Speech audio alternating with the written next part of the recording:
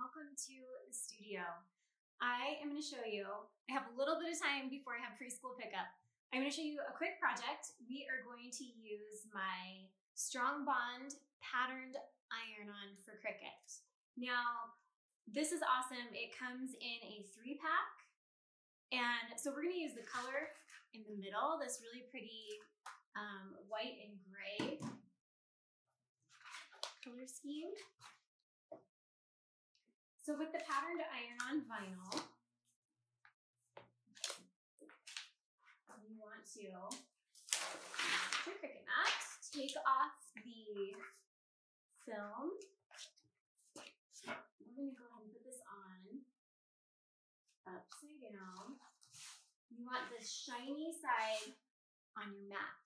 The shiny side is a carrier sheet, and so that will keep everything all lined up when you go to iron it onto the shirt. So I'm gonna grab a couple tools out really quick out of my handy little thing. All right, so we have our file. I'm doing this cute Why Fall in Love When You Can Fall Asleep file from Design Space. eight inches wide. And then see where we end up from there. Okay, so we have our file ready. We're gonna click Make It and send it to our mat. Now, something important is that because we're cutting this upside down, we need to make sure that our image is mirrored. So see this button right here that says mirror? Got to make sure that you have that pressed so that it's going to cut this backwards. So we have mirror, we have that ready, and load in our mat. And this is set to iron on on our customizing dial. And then as soon as this starts blinking, then we're ready to go. Now it says in design space, make sure mirror is turned on and iron-on material is faced shiny side down on the mat. We did both those two things. I don't think you're the first person to ever mess that up if you mess that up because I've used a Cricut for, well, close to 12 years now and I messed that up once not too long ago. Okay, so we're ready to go ahead and cut.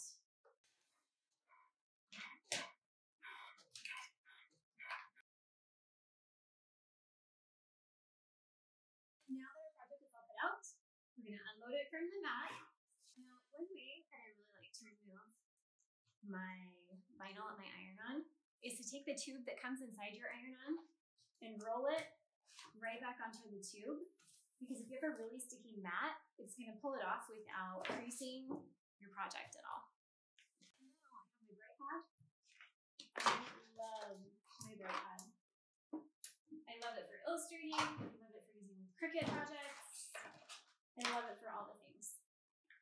So I'm gonna turn on the bright pad. All right, so I can see my lines. Sometimes I'll use a pencil and mark where I need to cut. I'm actually gonna get my Cricut trimmer because that's my favorite thing. I keep this in my desk drawer because I use it all the time. You can also cheat and look on your cut screen. Look on your cut screen and see about where the last letter was going to fall, which was about at the eight and about at the nine, because remember we cut this to eight by nine inches.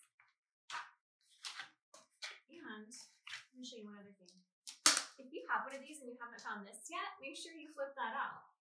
It has all of the measurements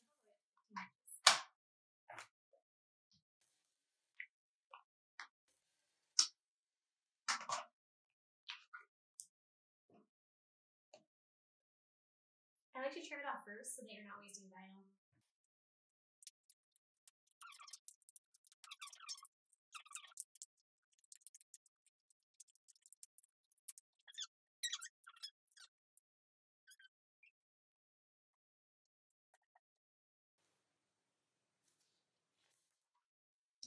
Last thing we need to do is iron this onto our shirt. So this is what it's to look like except way better when we iron it onto the shirt. Now, this shirt has been washed and dried. Good. set this temperature to 340 for 30 seconds. Fingers down. So something like that.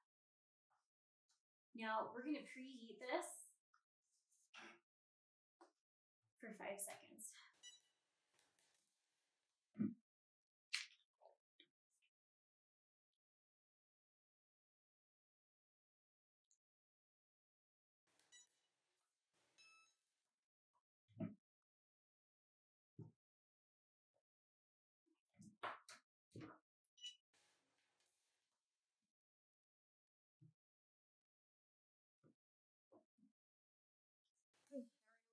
Cool, and then peel it off.